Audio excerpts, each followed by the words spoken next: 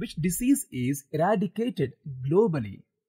Your options are polio, measles, smallpox, or diphtheria.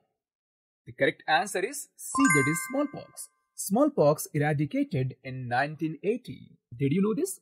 Comment in comment section. Question number 2. The process of forming new neurons is known as.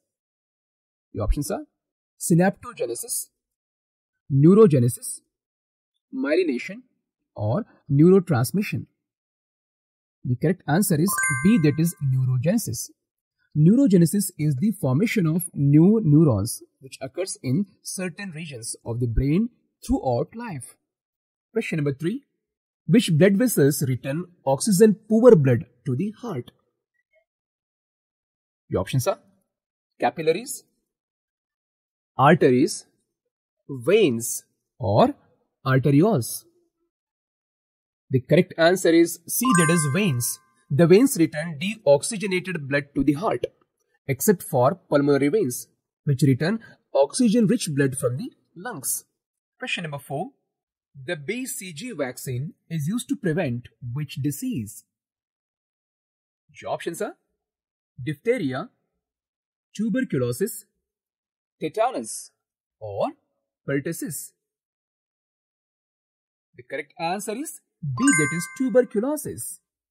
BCG, Bacillus calmette-guerin, protects against tuberculosis, especially in severe childhood TB. Question number 5. Where does fertilization of the egg typically occur? Your options are uterus, ovary, fallopian tube, or cervix. The correct answer is C, that is fallopian tube. Fertilization usually takes place in ampulla, the widest part of the fallopian tube, where the sperm meets the egg.